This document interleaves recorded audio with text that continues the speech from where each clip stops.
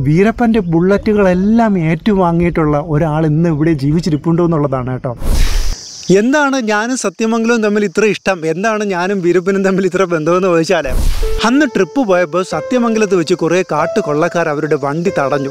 അപ്പോൾ ഈ റോഡിന് പറയാൻ എന്റെ അമ്മോ പേടിപ്പിക്കുമോ ഞാനിങ്ങനെ നോക്കിയപ്പോഴേ അങ്ങനെ അറ്റ് ലാസ്റ്റ് നമ്മൾ ആ ഒരു ഡെസ്റ്റിനേഷനിലെത്തി അതായത് സാക്ഷാൽ വീരപ്പൻ താമസിച്ചിരുന്നു എന്ന് പറയുന്ന വീരപ്പന്റേതായിട്ടുള്ള വീടാണ് ഇത് എന്റെ മുന്നിൽ കാണുന്നത്. അത് കാണിച്ചു തരാം. ഓ വീരപ്പനും ഉങ്ങൾക്കും ഒരേ നാളിൽ കല്യാണം.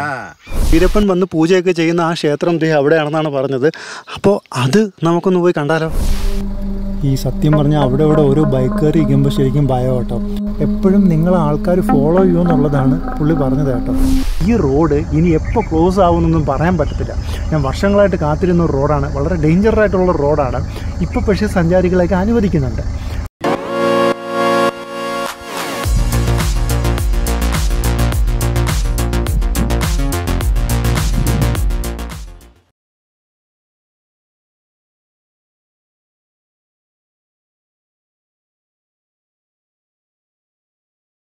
അപ്പോൾ ഇന്നിപ്പോൾ ഞാൻ ദേ വീരപ്പന്റെ ഗ്രാമത്തിൽ നിൽക്കുകയാണ്. ഗോപിനത്തം എന്ന് പറയുന്ന ഗ്രാമത്തിൽ നിൽക്കുകയാണ്. കഴിഞ്ഞ എപ്പിസോഡിൽ നമ്മൾ ഗോപിനത്തം മിസ്റ്റി ട്രെയിൽസ് എന്ന് പറയുന്ന അടിപൊളി സ്റ്റേ നമ്മൾ പരിചയപ്പെടുത്തിയായിരുന്നു. അപ്പോൾ ആ എപ്പിസോഡ് കണ്ടിട്ടില്ലെങ്കിൽ അത് കണ്ടിട്ട് എല്ലാവരും ഇത് കാണാൻ ശ്രമിക്കുക. ഇതിപ്പോൾ നമ്മുടെ വീരപ്പൻ സീരീസിന്റെ സെക്കൻഡ് എപ്പിസോഡാണ്. ഈ നടന്നു വരുന്ന ഇദ്ദേഹത്തെ നമുക്കൊന്ന് പരിചയപ്പെടാം. ഇദ്ദേഹവും വീരപ്പനും ഒരേ ദിവസം കല്യാണം കഴിച്ചവരാണ്. ஓ வீரப்பனும் உங்களுக்கும் ஒரே நாள்ல கல்யாணம்? ஓஹோ சரி சரி சரி. அவங்க கட்டி இங்க இருந்து மூளைக்காடு கூட்டிட்டு போறாங்க. ஆ மூளைக்காடு அங்க இருந்து நான் கட்டிட்டு இங்க வந்தேங்க. நம்ம வயசு ஆள் தாங்கணும் ஓ உங்களோட வயசு? தான் எழுபத்தி எட்டு வருஷம் ஐபிசி எங்களுக்கு தான் எழுபத்தெட்டு வருஷம். எழுபத்தி எட்டு சொந்தமாக வாத்தியார் வச்சுக்கிட்டு அது வச்சுக்கிட்டு படிச்சு இங்கிலீஷ் மட்டும் நல்லா ப படிச்சுக்கிட்டாரு. யாரு? வீரப்பன் ഓ വീരപ്പൻ സ്വന്തമായിട്ട് വാദ്യാരെ വെച്ച് ഇംഗ്ലീഷ് വരെ പഠിച്ചു. ആ இங்கிலீஷ் மேல அளவுக்கு படிச்சுக்கிட்டேன் அப்படி அதெல்லாம் கஞ்சிக்கு இல்லாத படாத பாடுபட்டவங்க ஓ சாப்பிட்றதுக்கு சாப்பிட்றதுக்கு ஓ அப்படி இருந்தவங்க வந்துட்டாங்கன்னு வந்து பார்க்குது ஓ உங்கள் வந்துட்டான்னு கோழி வந்து பார்த்துட்டே இருக்கு പാത്തിട്ടേ ഇരിക്ക്. ഓ അതാണ് കേട്ടോ. രാവിലെ ഉടമസ്ഥനെ കാണാത്തോണ്ട് കോഴി അന്വേഷിച്ച് വരുക. വിശപ്പ് കാരണേ പെരിയോര് ഉങ്ങളുടെ പേര് വന്ന് மாதேன் ഉങ്ങളുടെ പേര് വന്ന് മാതയൻ വീരപ്പൻ്റെ അണ്ണാ പേര് മാതയൻ തന്നെ മാതയൻ എന്നാ മീനിങ് மாதேஸ்வரம் கோயில் இருக்குதுல்ல ഓ அந்த சாமி பேர் ஓ அதனால நிறைய பேருக்கு மாதையன் பேர் வச்சிட்டு இருக்கு ஓ சரி சரி சரி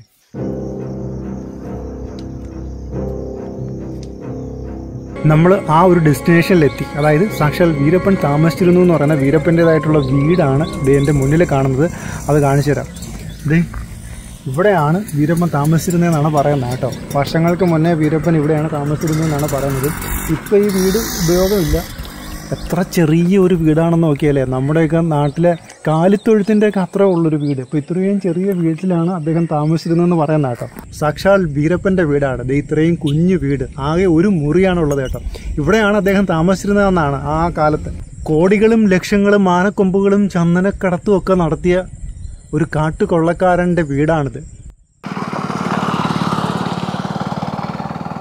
ഇവിടെ വേറൊരു സംഭവം ഞാൻ കാണിച്ചു തരാം അതായത് വീടിന്റെ പുറത്താണ് അടുപ്പ് കേട്ടോ. ഇവിടെ വന്നപ്പോഴാണ് ഞാനത് ശ്രദ്ധിച്ചത്. കണ്ടോ വീടിന് പുറത്ത് അടുപ്പ് വെച്ചിരിക്കുന്നുണ്ടോ? ദൈനംദിന ജീവിതത്തിന് പോലും നിവൃത്തിയില്ലാത്ത ഒരു ഗ്രാമമാണ് ഇത് എന്നും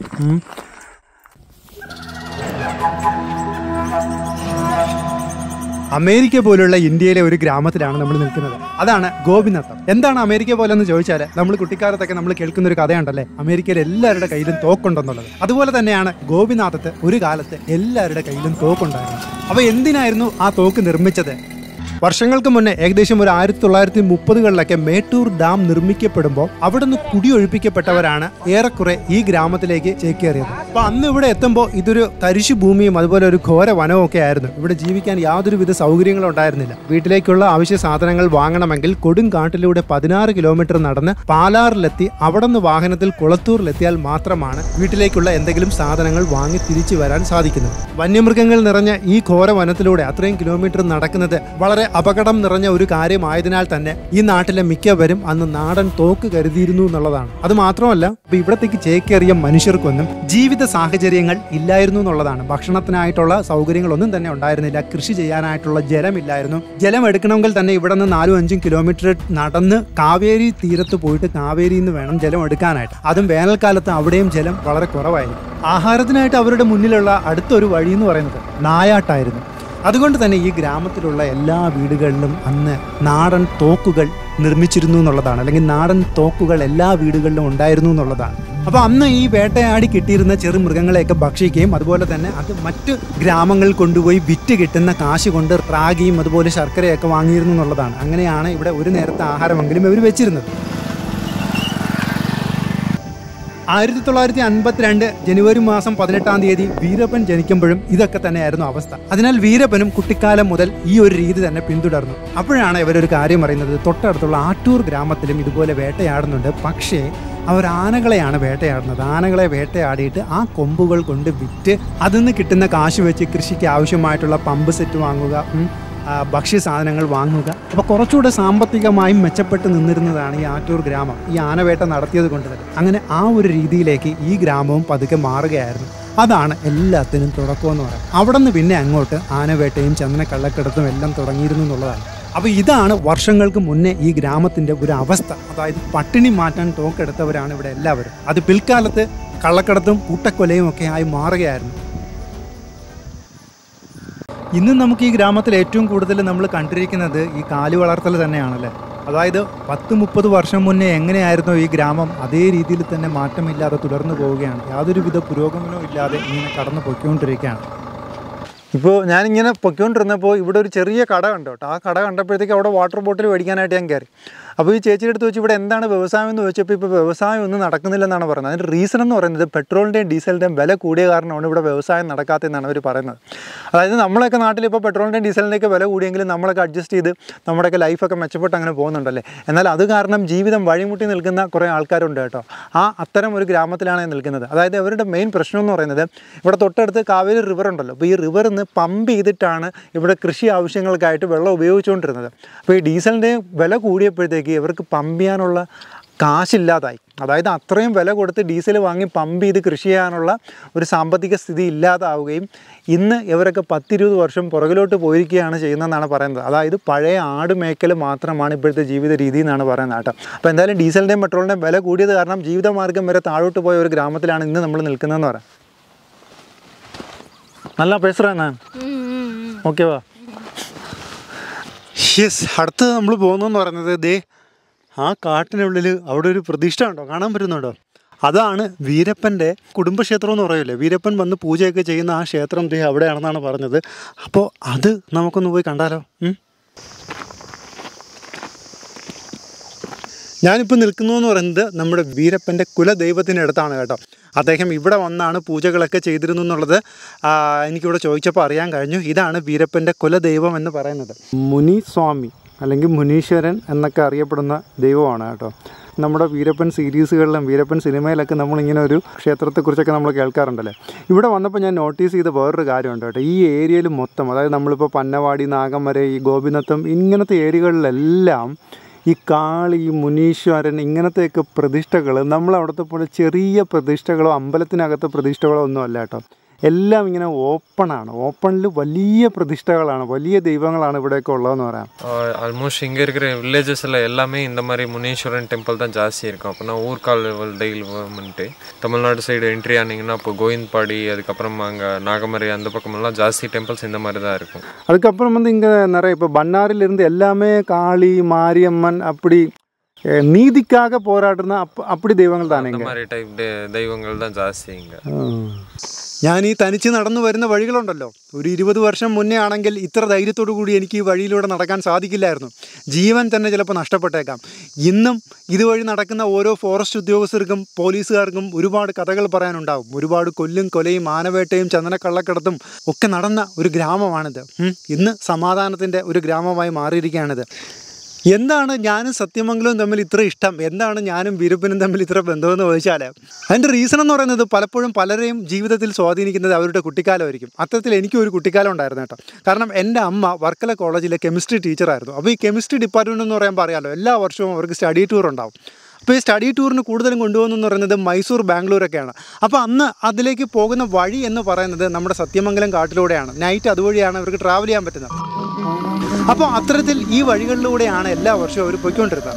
അപ്പോൾ ഒരു സമയത്ത് വർക്കല കോളേജിൽ നിന്ന് ഇതേപോലെ ട്രിപ്പ് പോയി. അന്ന് അമ്മയല്ലായിരുന്നു അന്ന് ട്രിപ്പ് പോയപ്പോൾ സത്യമംഗലത്ത് വെച്ച് കുറേ കാട്ടു കൊള്ളക്കാർ അവരുടെ വണ്ടി തടഞ്ഞു. ശരിക്കും എല്ലാവരും ഭയന്നു പോയി എങ്ങനെയോ അവരവിടെ നിന്ന് രക്ഷപ്പെട്ടു. അന്ന് വീരപ്പന് മാത്രമല്ല എല്ലാവർക്കും അറിയാമല്ലോ എന്നാൽ വീരപ്പന്റെ പേരിൽ ഒരുപാട് അപരന്മാരുണ്ടായിരുന്നു. വീരപ്പന്റെ പേരിൽ ഒരുപാട് കാട്ടുകൊള്ള സംഘങ്ങളൊക്കെ വേറെ ഉണ്ടായിരുന്നു. അപ്പോൾ അതുകൊണ്ട് തന്നെ അത് വീരപ്പൻ അല്ലായിരുന്നു എന്നാണ് ആ ബസ്സിലുണ്ടായിരുന്ന ആൾക്കാരും ടീച്ചേഴ്സും കുട്ടികളും ഒക്കെ പറഞ്ഞിരുന്നത്. പിന്നീട് അങ്ങോട്ടുള്ള ഓരോ വർഷവും ഒരു ടീച്ചേഴ്സും ഈ ട്രിപ്പിന് പോകാൻ സമ്മതിക്കാതായി.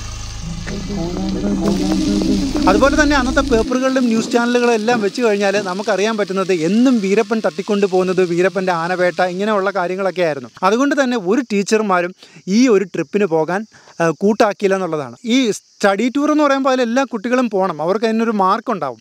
അപ്പോൾ അതുകൊണ്ട് തന്നെ ഇതിൽ പെൺകുട്ടികൾ ഇഷ്ടം പോലെ ഉണ്ടായിരുന്നത് കൊണ്ട് ടീച്ചേഴ്സ് ഇല്ലാതെ പോകാൻ സാധിക്കില്ലായിരുന്നു. അപ്പോൾ പലപ്പോഴും ഈ ട്രിപ്പ് മുടങ്ങുമെന്നുള്ള അവസ്ഥ വരുമ്പോഴത്തേക്ക് അമ്മയുടെ ഡ്യൂട്ടി ആയിരിക്കില്ല ആ വർഷം പോകുന്നുള്ളത്. പക്ഷേ ഈ കുട്ടികളുടെ ഭാവി ഓർത്തിട്ട് അമ്മ അത് ഏറ്റെടുക്കും. അങ്ങനെ അമ്മ ഈ എല്ലാ വർഷവും ഈ കുട്ടികളെ ഇതുവഴി ട്രിപ്പിന് കൊണ്ടുപോകും മൈസൂരിന് കൊണ്ടുപോകും. അപ്പോൾ ഞാനന്നൊരു മൂന്നാം ക്ലാസ്സിലോ നാലാം ക്ലാസ്സിലോ ഒക്കെ പഠിക്കുക. അപ്പോൾ എന്റെ വീട്ടിൽ അന്ന് ആ ഒരാഴ്ചത്തെ സംസാര വിഷയം പോലും ഈ വീരപ്പന്റെ ഇൻസിഡൻസ് ആയിരിക്കും. അമ്മ പോയിട്ട് വരുന്നത് വരെ വീട്ടിലെ സംസാര വിഷയം ഇതായിരിക്കും. പക്വത എത്താത്ത എന്റെ മനസ്സ് ദൈവത്തിനോട് വിളിച്ച് പ്രാർത്ഥിക്കുന്ന ഒരേ ഒരു കാര്യം മാത്രമേ ഉണ്ടായിരുന്നുള്ളൂ. എന്റെ അമ്മ പോയിട്ട് സേഫായിട്ട് തിരിച്ചെത്തണമെന്ന് മാത്രം.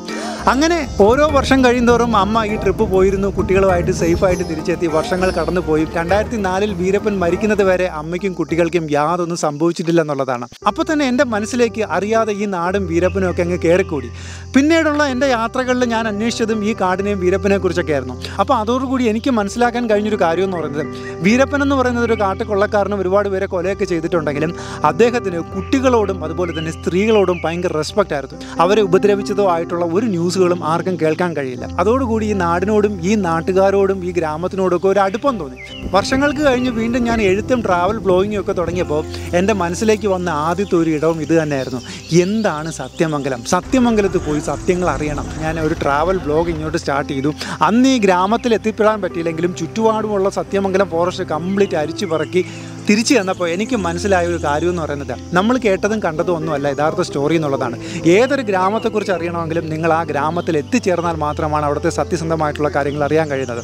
ഞാൻ അന്ന് അറിഞ്ഞ കാര്യങ്ങൾ പിൽക്കാലത്ത് അത് പല സീരീസുകളിലൂടെയും കണ്ടപ്പോൾ എനിക്ക് വളരെയധികം സന്തോഷം തോന്നി. ഒരുപാട് കാര്യങ്ങൾ ഞാൻ എന്റെ എഴുത്തിലൂടെയും വീഡിയോസിലൂടെയൊക്കെ പുറത്തു വിട്ടെങ്കിലും ഇപ്പോഴാണ് പലർക്കും ആ ഒരു സത്യമംഗലത്തെക്കുറിച്ചുള്ള ഒരു ധാരണ കിട്ടിയത്. ഇന്ന് ഒരുപാട് ബ്ലോഗർമാരൊക്കെ സത്യമംഗലത്തേക്ക് വരുന്നുണ്ട്. അതിൽ അതിയായ സന്തോഷമുണ്ട്. ഒരു നാടിനെ ഇങ്ങനെ പുറലോകം കാണിക്കാൻ പറ്റുന്നതിൽ വളരെയധികം സന്തോഷമുണ്ട്. ഈ ഗോപിനത്തം എന്ന് പറയുന്ന ഗ്രാമം വീരപ്പൻ ജനിച്ച ഈ ഗ്രാമം കാണണം എന്നുള്ളത് അന്ന് മുതൽ എന്റെ ഒരു ആഗ്രഹമായിരുന്നു. ഇന്ന് അതിനൊരു അവസരം കിട്ടി. ഞാനിവിടെ എത്തിച്ചേർന്നു എന്നുള്ളതാണ്. എന്റെ ഈ വീഡിയോ കണ്ടുകൊണ്ടിരിക്കുന്ന വർക്കല കോളേജിൽ പഠിച്ച അന്ന് ഈ ട്രിപ്പിലുണ്ടായിരുന്ന ആരെങ്കിലുമൊക്കെ ഉണ്ടായിരുന്നെങ്കിൽ കമന്റ് ചെയ്യുക. കാരണം അവരിലൂടെ എനിക്ക് ആ യാത്ര അറിയാൻ ആഗ്രഹമുണ്ട്. അപ്പോൾ ഉറപ്പായിട്ടും കമന്റ് ചെയ്യുക. നിങ്ങളിത് എല്ലാവരും ഒന്ന് ഷെയർ ചെയ്യണം കേട്ടോ. മാക്സിമം എല്ലാവരും ഒന്ന് ഷെയർ ചെയ്ത് സപ്പോർട്ട് ചെയ്യണം. ഇതാണ് ഗോപിനന്ദത്തെ പ്രൈമറി സ്കൂൾ കേട്ടോ. ഇന്ന് അത്യാവശ്യം കുട്ടികളൊക്കെ പഠിക്കുന്നുണ്ട് ഇവിടെ.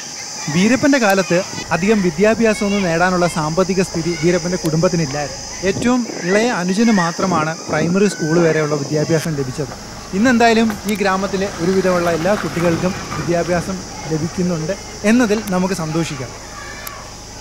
അപ്പോൾ എന്റെ യാത്രകളുടെ ഒരു പൊതു സ്വഭാവം എന്ന് പറയുന്നത് നിങ്ങൾക്കറിയാമല്ലോ വരുന്നത് വരട്ടെ വരുന്നിടത്ത് വെച്ച് വരട്ടെ. അത് എവിടെയാണെന്നോ എപ്പോൾ എത്തിച്ചേരുമെന്നോ എന്ത് സംഭവിക്കുമോ എന്നോ ഒന്നും യാതൊരു ഐഡിയയും ഇല്ലാത്ത യാത്രകളാണ്. അത്തരത്തിലൊരു യാത്രയാണ് ദേ ഇപ്പോൾ ഇവിടെ നിന്ന് അങ്ങോട്ട് ഞാൻ പോകാൻ പോകുന്നത്. ദേ കണ്ടല്ലോ പൊട്ടിപ്പൊളഞ്ഞൊരു റോഡാണ്. കാറ് പോകുമെന്ന് പറഞ്ഞു അത്യാവശ്യം കുഴപ്പമില്ല. പക്ഷേ ഇവിടെ നിന്നൊരു പതിനൊന്ന് കിലോമീറ്റർ അതായത് ഈ റോഡ് ഇനി എപ്പോൾ ക്ലോസ് ആവുമെന്നൊന്നും പറയാൻ പറ്റത്തില്ല. ഞാൻ വർഷങ്ങളായിട്ട് കാത്തിരുന്ന റോഡാണ്. വളരെ ഡേഞ്ചറായിട്ടുള്ള റോഡാണ്. ഇപ്പോൾ പക്ഷേ സഞ്ചാരികളെയൊക്കെ അനുവദിക്കുന്നുണ്ട്. അപ്പോൾ ഇവിടെ നിന്ന് ഹൊഗനക്കൽ വരെ നമുക്ക് പോകാൻ പറ്റും. അതാണ് ഈ പാത എന്ന് പറയുന്നത്. കാട്ടിനകത്തൂടെ ഡ്രൈവ് ചെയ്യാൻ ഇഷ്ടമുള്ളവർക്ക് പറ്റിയ ഒരു പാതയാണ്. കുറച്ച് റോഡൊന്നും മോശമാണ്. എന്നാലും നമ്മുടെ തൃശ്ശൂർ കുറ്റിപ്പുറം റോഡിന്റെ അത്ര മോശമല്ല. അതിനേക്കാളും ഫാർ ബെറ്ററാണ് അപ്പോൾ ഈ റോഡിന് പറയാൻ എന്റെ അമ്മോ പേടിപ്പിക്കുമോ ഞാനിങ്ങനെ നോക്കിയപ്പോഴേ സിംഹ ആനയൊക്കെ ഇറങ്ങി വരുന്ന കണക്ക് കാട്ടിനകത്തുനിന്ന് ഒരു പറ്റം ആൾക്കാർ ഇറങ്ങി വരുന്നു ജസ്റ്റ് എന്റെ കിളി പോയി കേട്ടോ. ആദ്യം കൊമ്പും ഒരു കറുത്ത രൂപമാണ് കണ്ടത്. ഒരു കൂട്ടം തന്നെ ഉണ്ട്. വെറുതെ മനുഷ്യനെ പേടിപ്പിക്കും കേട്ടോ. അപ്പോൾ എന്തായാലും നമ്മളിനി അധികം നേരം നിൽക്കുന്നില്ല. പോയിട്ട് തിരിച്ചു വരാം. ഇപ്പോൾ ഈ ഗോപിനാഥം ജംഗിൾ ക്യാമ്പിലൊക്കെ വരികയാണെങ്കിൽ ഇതും കൂടെ നിങ്ങൾക്കൊരു ഓപ്ഷനാണ് ഞാൻ എന്തായാലും പോയി നോക്കട്ടെ. പോയിട്ട് തിരിച്ചു വന്ന് വീഡിയോ ഒക്കെ അപ്ലോഡ് ചെയ്താലും നിങ്ങൾക്ക് മനസ്സിലാവുമല്ലോ ഇത് സേഫ് ആണെന്നുള്ളത്. പക്ഷേ എന്റെ അമ്മ ഒരുത്തന്റെ നിപ്പൊക്കെ കലിപ്പ് കേട്ടോ. കലിപ്പിച്ചുള്ള നോട്ടം.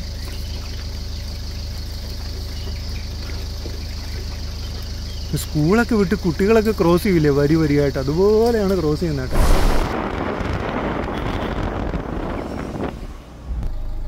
ഈ സത്യം പറഞ്ഞാൽ അവിടെ ഇവിടെ ഓരോ ബൈക്കുകാർ ഇരിക്കുമ്പോൾ ശരിക്കും ഭയം കേട്ടോ. കാരണം ഞാനൊരു ആറേഴ് വർഷങ്ങൾക്ക് മുന്നേ ഈ സത്യമംഗലത്തെക്കുറിച്ച് അന്വേഷിക്കാനായിട്ട് ഒരു യാത്ര പോകാനായിട്ട് എന്റെ സുഹൃത്തായിട്ടുള്ള നാഗേന്ദുവിന്റെ ഹസ്ബൻഡുണ്ട് പുള്ളിക്കാരൻ ഈ വിജയകുമാർ സാറിന്റെ ഗ്യാങ്ങിൽ പണ്ടുണ്ടായിരുന്നതാണ് അപ്പോൾ അദ്ദേഹത്തിന്റെ അടുത്ത് ഞാൻ പോയി അഡ്വൈസ് തേടിയായിരുന്നു. എങ്ങനെയാണ് നമ്മൾ ഈ സത്യമംഗലത്ത് പോകേണ്ടതെന്നും വീരപ്പനെ കുറിച്ച് അന്വേഷിക്കേണ്ടതെന്നും. അപ്പോൾ അന്നേ അദ്ദേഹം പറഞ്ഞ ഒരു കാര്യം എന്ന് പറയുന്നത് നിങ്ങൾ അവിടെ ചെന്ന് പരസ്യമായിട്ടാണ് അന്വേഷിക്കുന്നതെങ്കിൽ അപ്പോൾ തൊട്ട് നിങ്ങളെ രണ്ട് കൂട്ടർ ഫോളോ ചെയ്യൂ എന്നുള്ളതാണ്. ഒന്ന് വീരപ്പന്റെ ആൾക്കാർ സെക്കൻഡ് എന്ന് പറയുന്നത് ഡിപ്പാർട്ട്മെന്റിന്റെ ആൾക്കാർ ഇവർ രണ്ടുപേർക്കും ഇന്നും ഉത്തരം കിട്ടാതെ കിടക്കുന്ന ഒരു ക്വസ്റ്റ്യനാണ് വീരപ്പനും വീരപ്പൻ കൊള്ളയടിച്ച കാശു എന്ന് പറയുന്നത്. അപ്പോൾ അതുകൊണ്ട് തന്നെ എപ്പോഴും നിങ്ങൾ ആൾക്കാർ ഫോളോ ചെയ്യൂ എന്നുള്ളതാണ് പുള്ളി പറഞ്ഞത് കേട്ടോ. ഞാൻ ഈ ഇവിടെയൊക്കെ പോകുമ്പോൾ എനിക്ക് പെട്ടെന്ന് മൈൻഡിൽ സ്ട്രൈക്ക് ചെയ്യുന്നത് ആ കാര്യമാണ്. ഇതിപ്പോൾ ഉള്ളതാണോ ഇല്ലാത്തതാണോ എന്ന് അറിയത്തില്ല. ഓരോരുത്തർ ഇങ്ങനെ നമ്മളെ ബൈക്കിൽ ഓവർടേക്ക് ചെയ്ത് പോകുന്നുണ്ട്. ഇടയ്ക്കിടയ്ക്ക് നിർത്തുന്നുണ്ട്. ഈ ബുള്ളറ്റ് തറച്ചാൽ തോക്കുന്ന ഏക്കുന്ന ബുള്ളറ്റ് തറച്ചാൽ നമ്മളൊക്കെ മരിച്ചു പോകുമെന്നാണ് നമ്മുടെ വിചാരം അല്ലേ? എന്നാൽ ഈ അടുത്ത കാലത്താണ് ഞാൻ പത്രത്തിൽ അങ്ങനെ ഒരു ന്യൂസ് കണ്ടത്. അതായത് നിരവധി ബുള്ളറ്റുകൾ ഏറ്റുവാങ്ങിയിട്ടും ആ ജവാൻ അതെടുത്ത് കളയാൻ കൂട്ടാക്കില്ല കാരണം ആ ബുള്ളറ്റുകളൊക്കെ ഏറ്റുവാങ്ങിയിട്ട് ഹോസ്പിറ്റലിൽ ചെന്നപ്പോൾ ഡോക്ടർ പറഞ്ഞെന്ന് പറഞ്ഞാൽ ഈ ബുള്ളറ്റൊക്കെ ഇങ്ങനെ ഹാർട്ടിലും ലിവറിലും ഒക്കെ ഇങ്ങനെ ടച്ച് ചെയ്ത് ടച്ച് ചെയ്തില്ലെന്നും പറഞ്ഞാണ് ഇരിക്കുന്നത്. ചിലപ്പോൾ അത് നീക്കുമ്പോൾ താങ്കൾ മരണപ്പെടാം എന്ന് പറഞ്ഞു. അപ്പോൾ ഈ ജവാൻ പറഞ്ഞു വേണ്ട എടുക്കണ്ട ആ ബുള്ളറ്റുകൾ അതേപോലെ അവിടെ ഇരിക്കട്ടെ എന്ന് പറഞ്ഞു. എന്നിട്ടും അദ്ദേഹം പത്ത് മുപ്പത് വർഷം ജീവിച്ചിരുന്നു കേട്ടോ. ഈ റീസെന്റ്ലിയാണ് അദ്ദേഹം മരിച്ചു പോയത്. അപ്പോഴാണ് ഞാൻ ആദ്യമായിട്ട് അങ്ങനെ ഒരു കഥ കേൾക്കുന്നത്. അതായത് ഇത്രയും ബുള്ളറ്റുകൾ വെച്ചിട്ട് ദേഹത്ത് വെച്ചിട്ട് ജീവിച്ചിരുന്ന ഒരാളിനെ. എന്നാൽ ഇവിടെ ഞാൻ വരുമ്പോൾ എന്നെ അത്ഭുതപ്പെടുത്തുന്നു എന്ന് പറയുന്നത് വീരപ്പന്റെ ബുള്ളറ്റുകളെല്ലാം ഏറ്റുവാങ്ങിയിട്ടുള്ള ഒരാൾ ഇന്ന് ഇവിടെ ജീവിച്ചിരിപ്പുണ്ടോ എന്നുള്ളതാണ് കേട്ടോ. ഒരു ദൃക്സാക്ഷിയാണ്. ഇവൻ ഒരുപാട് പേരെ കൊല ചെയ്യുന്നത് കണ്ടുകൊണ്ട് നിന്ന ആ ഒരു ദൃക്സാക്ഷിക്ക് ഒരുപാട് ബുള്ളറ്റുകൾ ഏറ്റുവാങ്ങേണ്ടി വന്നു. പക്ഷേ ഇന്നും അദ്ദേഹം ജീവനോടെ ഇരിക്കുന്നു എന്നുള്ളതാണ്. അതൊരു മനുഷ്യനല്ല അതൊരു മരമാണ്. ദേ എന്റെ പുറകിൽ കാണുന്ന ഈ ഒരു മരമാണ് ആ ബുള്ളറ്റുകളെല്ലാം ഏറ്റുവാങ്ങിയത് കേട്ടോ. വീരപ്പന്റെയും കൂട്ടരെയും ഒരുപാട് ബുള്ളറ്റുകൾ ഏറ്റുവാങ്ങിയ ആ പാട് ഇന്നും ആ മരത്തിലുണ്ട്. ആ ബുള്ളറ്റും വെച്ച് ഇന്നും ആ മരം ജീവിച്ചിരിക്കുന്നു എന്നുള്ളതാണ്. അപ്പോൾ ആ മരത്തിന്റെ കാഴ്ചകളാണ് നമ്മൾ കാണാൻ പോകുന്നത്. നിരവധി പോലീസുകാരെ വീരപ്പൻ കൊല്ലുന്നത് കണ്ടു നിന്ന ഒരു ദൃസാക്ഷിയാണിത് കേട്ടോ. കോടതിയിൽ കൊണ്ടുപോകാൻ പറ്റാത്തതുകൊണ്ട് ഇന്നും ഈ മരം ഇവിടെ നിൽക്കുന്നു എന്നുള്ളതാണ്. നിറയെ വെടിയുണ്ടകളുടെ പാട് ഈ മരത്തിൽ നമുക്ക് കാണാൻ പറ്റും. അപ്പോൾ എന്താണ് ആ ഒരു ഇൻസിഡന്റ് എന്നുള്ളത് ഞാൻ എക്സ്പ്ലെയിൻ ചെയ്തു തരാം. ഒൻപത് നാല് ആയിരത്തി തൊള്ളായിരത്തി തൊണ്ണൂറ്. എസ് ഐമാരായ ദിനേശ് ജഗന്നാഥൻ രാമലിംഗം. എന്നിവർ ഏഴ് പോലീസുകാരോടൊപ്പം നമ്മുടെ വീരപ്പനെ പിടിക്കാനായിട്ട് ഹൊഗനക്കലിലേക്ക് പുറപ്പെട്ടു. അതായത് എം എം ഹിൽസിൽ നിന്ന് ഇതുവഴിയാണ് ഹൊഗനക്കലിലേക്ക് പുറപ്പെട്ടത്. അപ്പോൾ ഈ ഉച്ചയ്ക്ക് ഇതുവഴി പാസ് ചെയ്ത് പോകുന്നത് വീരപ്പൻ അറിഞ്ഞായിരുന്നു. അവർ ഇതുവഴി പാസ് ചെയ്ത് പോകുന്നത് ഹൊഗനക്കലിലെ കുളിയൊക്കെ കഴിഞ്ഞ് ഇവർ തിരിച്ചു വരുന്നത് വരെ വീരപ്പനും സംഘവും ഇവിടെ വെയിറ്റ് ചെയ്തു ഈ ഒരു പർട്ടിക്കുലർ പ്ലേസിൽ വെയിറ്റ് ചെയ്യുകയും അവരെത്തിയപ്പോൾ ഓൺ ദി സ്പോട്ട് ഷൂട്ട് ചെയ്യുകയും ചെയ്തു. ദിനേശ് ജഗന്നാഥൻ രാമലിംഗം എന്നീ സബ് ഇൻസ്പെക്ടർമാരും ശങ്കർ റാവു എന്ന പോലീസുകാരനും ആ സ്പോട്ടിൽ തന്നെ മരണപ്പെട്ടു. അതിൽ രണ്ടുപേര് എസ്കേപ്പ് ആയത് എങ്ങനെയാണെന്ന് വെച്ചാൽ ദേ ഇതിന്റെ താഴെയാണ് ഈ കാവേരി റിവർ ഒഴുകുന്നത്. അപ്പോൾ ഇവിടത്തേക്ക് രണ്ടുപേരെ എടുത്ത് ചാടി. അവർ രക്ഷപ്പെട്ടു എന്നാണ് പറയുന്നത്. ആ കാലത്ത് ഈ നാടിനെയും തമിഴ്നാടിനെയും കർണാടകയൊക്കെ ശരിക്കും പിടിച്ചുലച്ചു കളഞ്ഞ ഒരു സംഭവമായിരുന്നു ഇത്. ഇതിനുശേഷമാണ് വീരപ്പനെതിരെ കർണാടക സർക്കാർ ഷൂട്ട് ആൻഡ് സൈറ്റ് ഓർഡർ പുറപ്പെടുവിപ്പിക്കുന്നത്.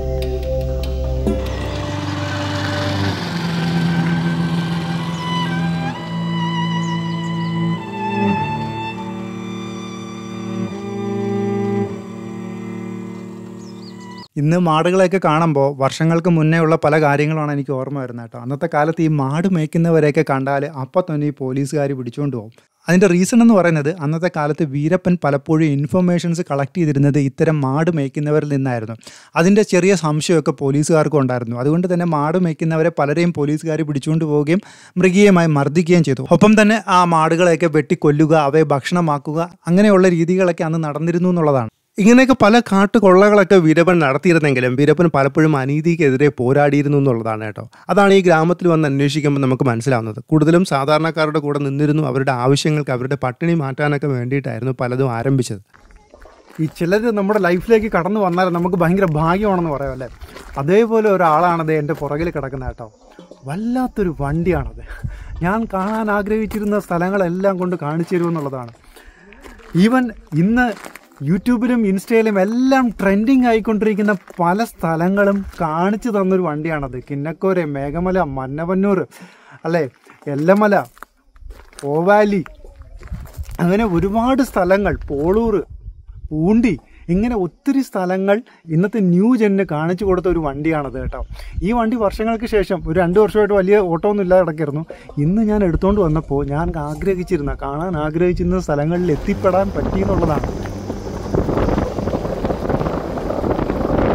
അങ്ങനെ ഗെയ്സ് നമ്മൾ എത്തിയിരിക്കുകയാണ് നമ്മുടെ ഡെസ്റ്റിനേഷനിൽ അതായത് ഗോപിനാഥത്തിൽ നിന്ന് നമ്മൾ ഏകദേശം ഒരു പതിനൊന്ന് കിലോമീറ്റർ ട്രാവൽ ചെയ്ത് കാട്ടിനകത്തൂടെ നമ്മുടെ ഹൊഗനക്കൽ വാട്ടർഫോൾസിന്റെ തൊട്ട് ഓപ്പോസിറ്റ് എത്തി. ഇതാണ് ശരിക്കും പറഞ്ഞ ബോർഡർ എന്ന് പറയുന്നത്. ഈ ഒരു ഭാഗം എന്ന് പറയുന്നത് നമുക്ക് ചാമരായ നഗറാണ്. അതായത് കർണാടകയുടെ ചാമരായ നഗർ ജില്ലയാണ്. ഈ റിവർ ക്രോസ് ചെയ്ത് നമ്മൾ അപ്പുറത്തേക്ക് പോയി കഴിഞ്ഞാൽ തമിഴ്നാടിന്റെ ധർമ്മപുരി ജില്ലയായി. അപ്പോൾ ഈ ട്രിപ്പിൽ നമുക്ക് ഇൻക്ലൂഡ് ചെയ്യാൻ പറ്റുന്ന ഒരു പ്ലേസ് ആണിത് വലിയ പ്രശ്നമൊന്നുമില്ല കേട്ടോ. ഞാൻ സേഫ് ആയിട്ട് ഇവിടെ എത്തി. ഇവിടെ വന്നത് നിങ്ങൾക്ക് കൊറാക്കൽ റൈഡ് നടത്താം. അതുപോലെ തന്നെ അടിപൊളി ഒരു കുളി കുളിക്കാം. ദെൻ ഇതുപോലെ ഒരു കിഡിലൻ ഡാം ഫിഷൊക്കെ മേടിച്ച് ഫ്രൈ ഇതൊക്കെ ഇങ്ങനെ കഴിക്കണ്ടേ? അതിന്റെ ഒരു ടേസ്റ്റ് ഒക്കെ ഞാൻ പറഞ്ഞു തരണ്ടല്ലോ അറിയാമല്ലോ അപ്പോൾ അതൊക്കെ കഴിച്ച് ദേ ഇവിടെ നല്ല രീതിയിൽ സ്പെൻഡ് ചെയ്തിട്ട് നമുക്ക് തിരിച്ചു പോകാൻ സാധിക്കും കേട്ടോ. നമ്മൾ ഓട്ടോ സ്റ്റാൻഡ് കണ്ടിട്ടുണ്ട് ബസ് സ്റ്റാൻഡ് കണ്ടിട്ടുണ്ട് ടാക്സി സ്റ്റാൻഡ് കണ്ടിട്ടുണ്ട് ജീപ്പ് സ്റ്റാൻഡ് കണ്ടിട്ടുണ്ട് എല്ലാം കണ്ടിട്ടുണ്ട് അല്ലേ? ഇത് നമ്മുടെ കുട്ടവഞ്ചി സ്റ്റാൻഡാണ്. അതായത് കുട്ടവഞ്ചികൾ ചാരി വെക്കാൻ വേണ്ടിയിട്ടാണ് ഈ ഓരോ തൂണുകളും തീർത്തത് ഇപ്പോൾ ഇതെല്ലാം ഓട്ടത്തിന് പോയിരിക്കുകയാണ്. രണ്ടുമൂന്ന് കുട്ടവഞ്ചി അവിടെ റെസ്റ്റ് എടുക്കുന്നുണ്ട്. അപ്പോൾ അതെന്തായാലും വളരെ വ്യത്യസ്തമായിട്ടുള്ളൊരു കാഴ്ചയായി. പ്രത്യേകിച്ച് ഇങ്ങനെ ഒരു സംവിധാനം ചെയ്തു വെച്ചിരിക്കുന്നത് അടിപൊളിയായി. ഇത് ഇവിടത്തേക്ക് വരുന്ന ഒരു ബസ്സാണ്. മൂന്ന് ബസ് സർവീസ് ആണ് ഇവിടെ ഉള്ളത്. രാവിലെ ഉച്ചയ്ക്കും വൈകുന്നേരം അതിലൊരു ബസ്സാണ് ഈ കിടക്കുന്നത്. ഇതെല്ലാം വരുന്നത് കർണാടക ഭാഗത്തു നിന്നാണ്. തമിഴ്നാട്ടിൽ നിന്ന് ഇവിടത്തേക്ക് ബസ്സില്ല അപ്പോൾ കഴിഞ്ഞ എപ്പിസോഡിൽ ഒരുപാട് പേര് എന്റെ അടുത്ത് ചോദിച്ചായിരുന്നു ഇവിടെ എങ്ങനെ എത്തിച്ചേരാന്നുള്ളത്. ബൈ റോഡാണെങ്കിൽ ഓൺ വെഹിക്കിളിലാണെങ്കിൽ ഞാൻ നേരത്തെ പറഞ്ഞ റൂട്ടാണ്. അതായത് കോയമ്പത്തൂർ പെരുന്തുറൈ പെരുന്തുറയിൽ നിന്ന് ഭവാനി മേട്ടൂർ പാലാറ് നമ്മുടെ ഗോപിനത്തം ഇനി നിങ്ങൾ ബസ്സിലാണ് വരാൻ ഉദ്ദേശിക്കുന്നത് അല്ലെങ്കിൽ ട്രെയിനോ ബസ്സൊക്കെ ആണെങ്കിൽ നിങ്ങൾക്ക് സേലത്ത് ഇറങ്ങാം. സേലത്ത് നിന്ന് നിങ്ങൾക്ക് ഡയറക്റ്റ് രാവിലെ എം എം ഹിൽസിൽ പോകുന്ന ബസ് കിട്ടും. അതിൽ നിങ്ങൾക്ക് പാലാർ ഇറങ്ങാം. പാലാറിൽ നിന്ന് പിന്നെ എപ്പോഴാണോ ബസ് വരുന്നത് അല്ലെങ്കിൽ ചെറിയ ട്രക്കൊക്കെ വരുന്നത് അതിൽ കയറി നിങ്ങൾക്ക് ഗോപിനത്തത്ത് പോകാൻ സാധിക്കും. അപ്പോൾ കാഴ്ചകളൊക്കെ ഇഷ്ടപ്പെട്ടില്ലേ? ഇനി പതുക്കെ നമുക്ക് തിരിച്ചാലോ? ചില സ്ഥലങ്ങളുണ്ട്. അത് നമ്മൾ വിചാരിക്കുന്നതിലും അപ്പുറമായിരിക്കും അതിന്റെ സൗന്ദര്യം. അത്തരത്തിലുള്ള ഒരു ഗ്രാമമാണ് ദേ ഗോപിനത്വം എന്ന് പറയുന്നത്. നമ്മൾ ആരും സ്വപ്നത്തിൽ പോലും വിചാരിച്ചില്ലല്ലേ? ഇത്രയും സുന്ദരമായിരിക്കും ഗോപിനത്വം എന്ന് പറയുന്ന ഈ ഗ്രാമം. വീരപ്പന്റെ ഗ്രാമം എന്നൊക്കെ കേൾക്കുമ്പോൾ തന്നെ നമ്മുടെ ഉള്ളിലേക്ക് ഒരു ഭയമാണ് വരുന്നത്. എന്നാൽ ഇവിടെ വരുമ്പോൾ അതെല്ലാം മാറും കേട്ടോ. ശരിക്കും നമ്മുടെ മനസ്സിനെ തണുപ്പിക്കാനും കണ്ണിന് ഒരു കുളിർമ തരാനും ഒക്കെ ഈ ഗ്രാമത്തിന് വല്ലാത്തൊരു കഴിവുണ്ട്. അതാണ് നമ്മൾ ഇവിടെ അനുഭവിച്ചുകൊണ്ടിരിക്കുന്നത്. ഈ ഒരു വീരപ്പന്റെ ഗ്രാമം എഴുപത്തിയേഴ് മലകൾക്ക് നടുവിലാണെന്ന് പറഞ്ഞാൽ ആരെങ്കിലും വിശ്വസിക്കുമോ? അത്ര സുന്ദരമാണ് ഈ ഗ്രാമം എന്നുള്ളത്. അതിവിടെ ചുറ്റുവട്ടത്ത് നിങ്ങൾക്ക് കാണുമ്പോൾ തന്നെ മനസ്സിലാവുന്നുണ്ട് മനോഹരമായിട്ടുള്ള മലനിരകളും അതുപോലെ തന്നെ ആ മലനിരകളെ ഇങ്ങനെ മുട്ടി നിൽക്കുന്ന ഗോപിനത്തം ഡാമും ആ ഡാമിന്റെ മുകളിലൂടെ പറന്നുയരുന്ന വിവിധ ഇനം പക്ഷികളും ഒപ്പം നിരവധി പൂമ്പാറ്റകളും ഒക്കെ ഇവിടുത്തെ കാഴ്ചകളെ വളരെ മനോഹരമാക്കുന്നു എന്നുള്ളതാണ്. ആക്ച്വലി ഈ ഡാമൊക്കെ മാൻമേഡ് ആണ്. അതായത് റെയിൻ വാട്ടർ സ്റ്റോറേജ് ആണ് ഇത്. മഴവെള്ളം മാത്രം കെട്ടി നിൽക്കുന്ന ഒരു ഡാമാണിത് ഇവിടുത്തെ കാർഷിക ആവശ്യങ്ങൾക്കും കുടിവെള്ളത്തിനും ഒക്കെ ആയിട്ട് നിർമ്മിച്ചതാണ്. ടൂറിസത്തിന് മാത്രമാണ് ഈ ഗ്രാമത്തെ രക്ഷപ്പെടുത്താൻ പറ്റുന്നത് കേട്ടോ. അപ്പം അതിൻ്റെ ഭാഗമായിട്ടാണ് ഞാനിവിടെ നിൽക്കുന്നത് നമ്മൾ പോയിട്ടുള്ള ഒരുപാട് ഗ്രാമങ്ങൾ പിൽക്കാലത്ത് ഇന്ന് അറിയപ്പെടുന്ന ടൂറിസ്റ്റ് കേന്ദ്രങ്ങളായി മാറിക്കഴിഞ്ഞു അപ്പം അതുപോലെ ഈ ഗോപിനത്വവും ഒരു അറിയപ്പെടുന്ന ടൂറിസ്റ്റ് കേന്ദ്രമായി മാറട്ടെ എന്നാണ് ഞാൻ ഏറ്റവും കൂടുതൽ ആഗ്രഹിക്കുന്നതും പ്രാർത്ഥിക്കുന്നതും കേട്ടോ കാരണം ആ ടൂറിസത്തിന് മാത്രമാണ് ഈ ഗ്രാമത്തിനെ പട്ടിണിയിൽ നിന്നും വേറൊരു ജീവിത രീതിയിലേക്ക് ജീവിത ശൈലിയിലേക്ക് കൊണ്ടുവരാൻ സാധിക്കൂ என்ன அழிச்சாலும் சரி ஆனா மக்கள் அழிக்கிறது என்னால தாக்கு பிடிக்க முடியல இந்த மக்களுக்கு சுதந்திரமான ஒரு வாழ்க்கை அமைச்சு கொடுத்துட்டு போனோம்னு கடைசி ஆசை எனக்கு.